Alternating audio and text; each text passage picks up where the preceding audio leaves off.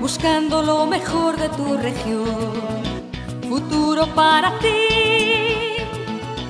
Y si vais viendo en todos los municipios de Cantabria la diferencia que hay cuando hay un alcalde del PRC, cuando no lo hay, es que lo podéis ir comprobando con vuestros municipios vecinos y cómo han cambiado las cosas. Por ejemplo, cómo cambió Vega de Paz cuando cambió de alcalde.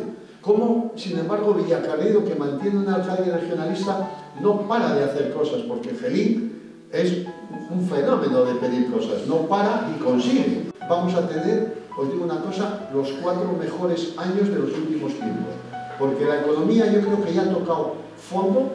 Si ahora sabemos aprovechar que pueden venir tiempos mejores, estoy convencido de que esta legislatura va a ser una legislatura para enmarcar con letras de oro.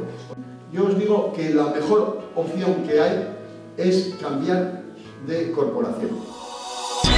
Buscando lo mejor de tu región, futuro para Queridos vecinos de Vega de Paz, soy José María Mazón, vuestro nuevo diputado en el Congreso de Madrid.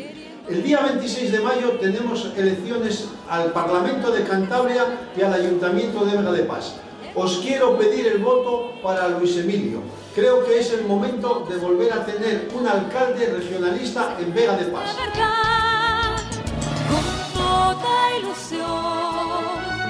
Vive la verdad, Cantabria